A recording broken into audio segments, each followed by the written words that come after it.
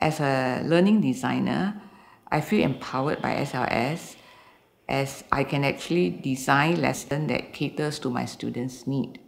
Uh, previously, we have a platform where we have all, we have lesson packages, but they are fixed, so we cannot uh, customize. SLS allows uh, me to design lessons uh, to help the students to learn collaboratively. And when the students interact with each other, uh, they can actually consult each other and uh, deepen their own uh, learning.